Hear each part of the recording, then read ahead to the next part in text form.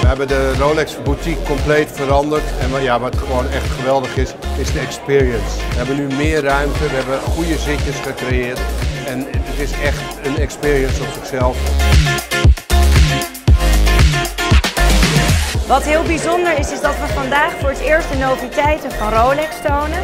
Deze horloges hebben wij gezien tijdens de Watches and Wonders in Genève.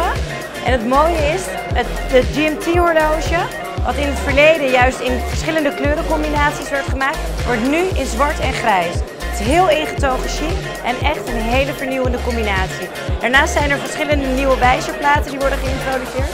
Het is echt de moeite waard om even een kijkje te komen nemen.